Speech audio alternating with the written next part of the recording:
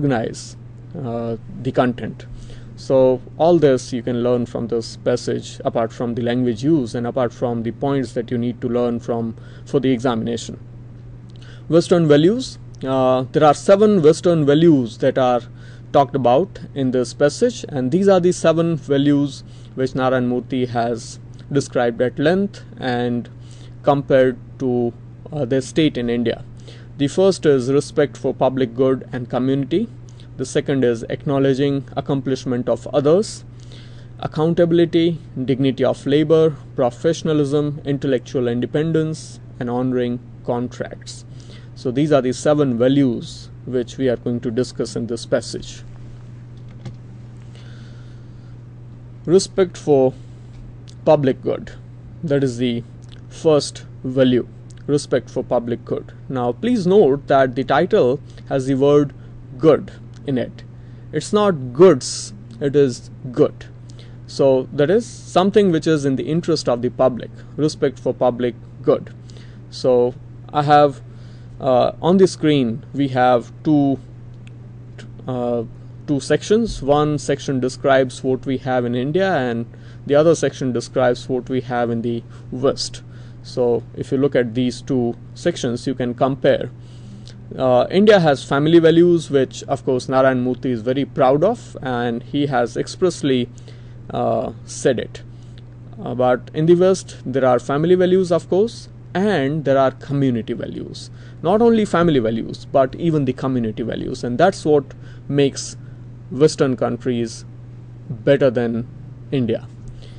Contradictory and self centered attitude is something that we see in India. How this attitude is contradictory, we have so many examples, and Narayan Murthy has given us at least three examples. But one brief example could be how we keep our homes clean, spotlessly clean, and how we litter in public places. So it is contradictory. It's not that we don't value cleanliness. We, of course, value cleanliness like all people do. But the problem is that our behavior towards cleanliness or our behavior to keep the surroundings clean is contradictory. So, this is contradiction in our behavior. While there you have accommodating and constant attitude.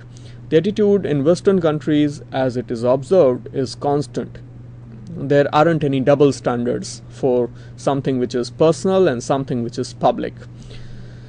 Lack of responsible behavior is once again something that we see in India, and on the other hand, we have proactive problem solving behavior in Western countries. It seems like we see a lot of problems around us, but as Narayan Murthy observes, we do not care about solving these problems. While in the Western countries, there is a proactive behavior to solve these problems. These problems are societal, these are not personal problems, these are societal problems. But at the same time, every individual takes the responsibility to make things happen. It seems in India, we see the problems, but we do not uh, show a responsible behavior. And Narayan Murthy wonders what the reason could be, but we'll talk about reasons afterwards. But right now, we'll uh, look at the examples that we have. Narayan Murthy gives us three examples about how the uh, behavior in India is not really up to the mark, and that's something he introduces in uh, second point. Here we can see a picture respect for public good. It's in the same point, respect for public good, and I was talking about the contradictory behavior that we have. We can see a typical, it, it could be any Indian town or city or uh, any place in India, but we can see how much litter is in the picture, and this is one of the public places. Now, when you look at such pictures in Western countries, it is hard to find such a sight now, on the other hand, if you look at uh, the homes which are private place, uh, places, uh, private spaces, you would not see so much of litter. So, our behavior towards cleanliness is contradictory, and this is a sure proof of that. Reason for irresponsible behavior. What could be the reason? And one of the reasons that Narayan Murthy could think of is that probably we have a history of colonizations and we have a history of kings who thought for thought for us and who thought for public and who decided for public. So the reason probably could be that over the years we have been ruled by others and so we have come to believe unconsciously probably that to decide and to take action is not our responsibility. Now, even when we are independent and even when we have democracy, we feel that somebody will decide for us, somebody will take the responsibility. So we see the problems, but we do not work towards solving them. That is the problem. So this could be the reason. And at the end of this uh, first point, respect for public good, the conclusion is the uh, that successful societies are those that harmoniously combine loyalty to family and to community. Interestingly, Narayan Murthy also looks at the etymology or the roots of this word community. When you look at the word community, it is from Latin. It is from the Latin language and it is a combination of two Latin roots. One is com and the other is unus, which means together and with. So, looking at the meaning of this, we will see that community describes a meaning originally which means an individual as well as a collective. So it means a unified group, like we say in India, uh, unity in diversity. We have this uh, motto, we have this tagline, unity in diversity, but uh, looking at our behavior, it looks like we do not practice uh, what we preach. So that is the problem. So this word community also is very important, and Narayan Murthy looks at its etymology. Now, before we move on to the next uh, point, I would like you to go through the vocabulary items that you have come across uh, in this passage, and probably some of the words might be new for you, and some might be the words that you already know, but nevertheless, you should go through uh, these words which are marked as bold in your textbook they are marked in bold to show that they might be new words and you might need some help in that. And in case you need help in looking up the meaning of these words, there is a gray section towards the towards the binding of your book and that gives you instant glossary. So you can look up all these words in the instant glossary that you have in each of the pages. And at the end of the session what you should do is you should try to use these words in your own language in your own sentences. And when you go through these words again and again when you encounter them once or twice or even more than that probably they will uh, become a part of your permanent vocabulary so these words are something that you should try to remember in case there are new words you can improve your vocabulary so in the examination there will be vocabulary exercises and you can remember these words for that. Uh, looking at the content, let's do a check on how much have you learned from the passage that we just discussed. It was just a small paragraph that we have discussed from the entire unit, but uh, the idea here is that rather than going uh, across the entire uh, unit, we should go in steps. So the first step was just the first point respect for public good and the introduction. So here is a kind of objective question. In India, marriages are believed to be and there is a blank for which you need to provide a word which is used in the passage, which is the adjective that is used to describe the attitude towards marriage. And the word you will see is the sacred. S A C R E D. In India, marriages are believed to be sacred. Second question is Indian attitude to cleanliness is how will you describe Indian attitude to cleanliness? And as we have seen, Indian attitude to cleanliness is contradictory. So these are very objective. I mean, one word answer you can call them. Uh, they might be useful for the kind of multiple choice questions that you have in your written test but here are some answers that require uh, longer answers, uh, longer than one word. So, the first question in this section is What does the author want Indians to do regarding societal problems? And you would see that Indians basically mm, are compared to the Western counterparts where people solve societal problems proactively, and obviously, Murthy wants Indians to do the same. So, Indians must solve societal problems uh, proactively. Second question What attitude Indians have towards their families? So, this is one thing that we all are proud of. We have a deep rooted family values. So, we are very committed, we are very dedicated to our family families, and uh, we, of course, value our commitment towards family. We value we fulfill our vows to family.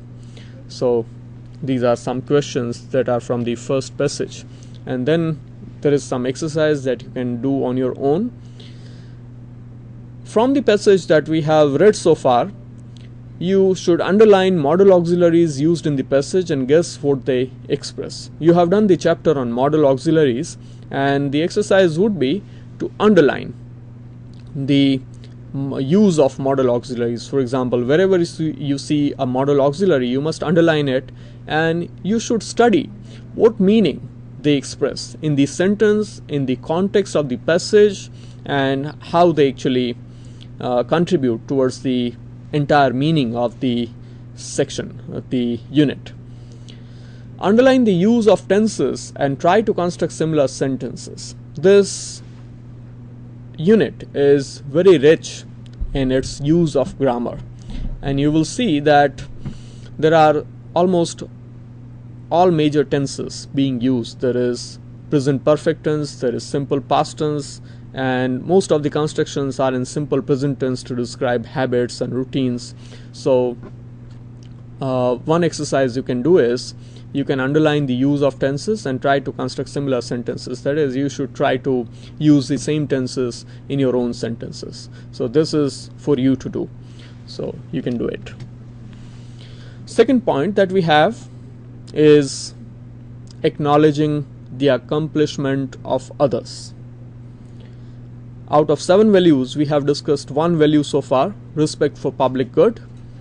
And here is the second value in the unit acknowledging the accomplishment of others. It seems that we observe a kind of contemptuous behavior, contemptuous attitude when it comes to acknowledging the accomplishment of others. That is, you must have experienced probably personally that when it comes to it is probably also the human nature, but uh, it is hard for uh, us to acknowledge that somebody has done better than us. And that is one problem with our mindset. Narayan Murthy uh, goes up to the point of saying that he has not seen any other society as contemptuous as the Indian society. No other society is as contemptuous as the Indian society. And he is not surprised because uh, even Al-Biruni, who was 11th century uh, logician and a traveler who wrote his travelogues, even in 11th century, after living for 21 years, remember this is not just a judgment on the basis of one day or one month. For 20 years or more than 20 years, he lived in India, he studied the people of India, and then he found out that Indians are contemptuous and probably they cannot acknowledge easily the accomplishment of others. So, the conclusion is that we must listen to and learn from the societies who have done better than us, and that could be so many other people, other societies who might have done better than us.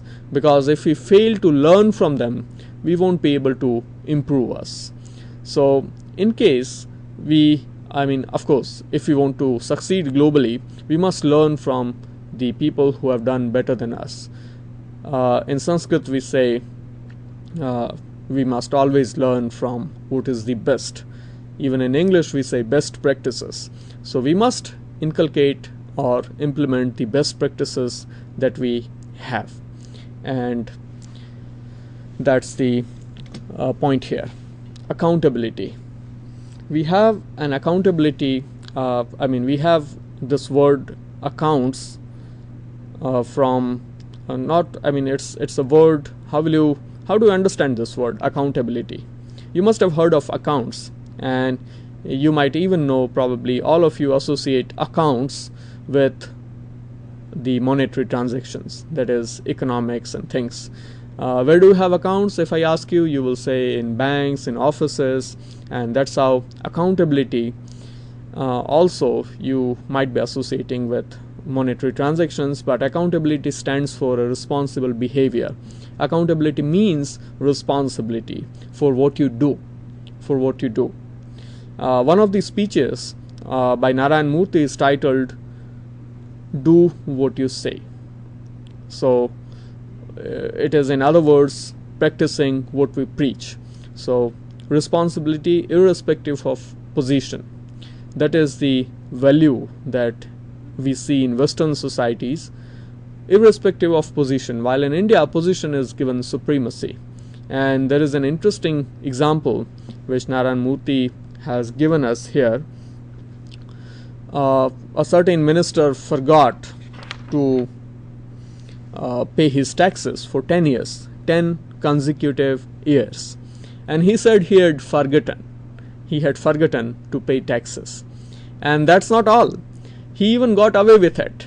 People even believed that probably he really had forgotten uh, paying taxes. And this is what proves that because of his position, he probably misused misused his position, and uh, he was not held accountable. So accountability is an attribute where you need to take responsibility for what you do. If I whether whatever I do, I mean, it could be a good thing, it could be a bad thing. I might commit a mistake, and I must take responsibility for it. I must be held accountable for that, and I am answerable for whatever I have done. If I have done good things, I'm uh, accountable in terms of credit. And if I have done something wrong, I'm accountable for whatever punishment or penalty it brings. So that is accountability. Uh, second example that we have is of uh, private uh, public sector companies